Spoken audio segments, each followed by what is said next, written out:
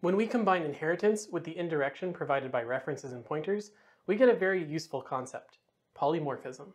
Polymorphism allows us to use one interface to interact with multiple types of objects. That's a super vague explanation, so let's just look at some code.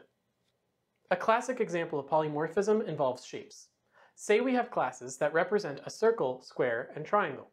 Each class uses different values to represent its specific shape, but each of them provides a function that tells us the area of that shape. The math done in each function is specific to the shape they represent. So how do we write code that can work with any shape?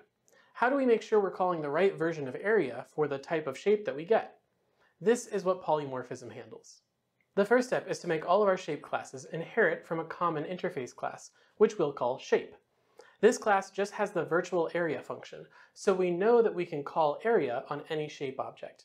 And of course, we'll want to mark all of our shape-specific area functions as overrides. The next part deals with how we use polymorphic objects. The key idea here is that we can have references and pointers, where the type of the reference is the base class, while the type of the actual object being pointed to is the derived class. So we can initialize a reference to a shape such that it points to a circle. When we call area on the reference, the computer knows that the underlying object is actually a circle, so it calls circle's version of the area function. Hopefully you're starting to see how this can be used to write certain kinds of generic code.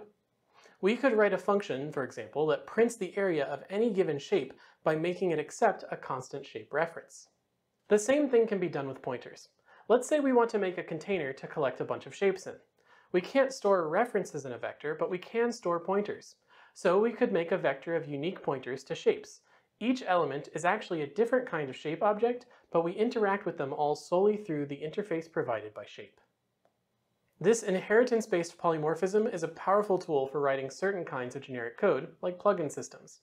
You'll see it pop up whenever a common interface is desired for multiple types.